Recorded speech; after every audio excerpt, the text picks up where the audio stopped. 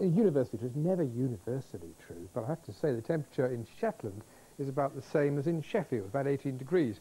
The warmth, this other side of this white ribbon. But what's coming into the southwest, this white cloud here, is an area of low pressure. That will be the dominant feature, if low pressure can dominate, for all of us for the whole weekend. So let's just finish off today then.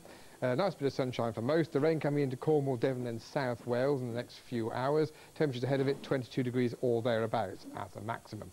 Now overnight tonight as the rain comes in and the cloud comes in, so the wind will increase. All of that stops the temperature dropping, whether it be midsummer or as it might feel like midwinter.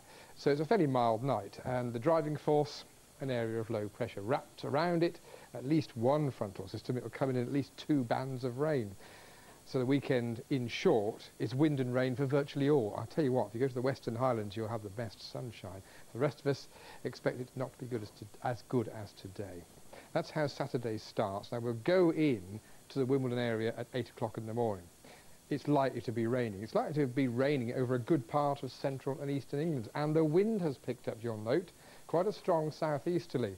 The rain is lasting where it falls for quite a long time. There's an area a few miles out where it's dry for quite a long time. That rain edging up into lowland Scotland. Here are the Highlands, full of sunshine, but a bit of a breeze from the east means the west coast is best of all. A very wet looking picture for Northern Ireland for Saturday at 8 o'clock this morning, and then that rain comes down through Wales. But having gone through overnight, it's left the West Country largely dry until the next lot comes into Cornwall, with even stronger winds, gusting eventually 40 or 50 miles an hour. Hardly summery weather, but we have seen it before this year, only a month ago.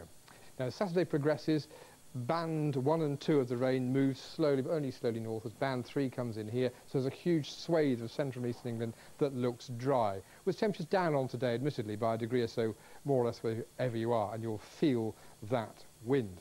Now, of course, that means that the chances are it'll be dry play at Wimbledon until the very end of the day. But Sunday is a different story. The rain is still falling fairly steadily, not just at Wimbledon, but the chances are eventually over much of central and eastern England. Again, the Western Highlands of Scotland do best of all.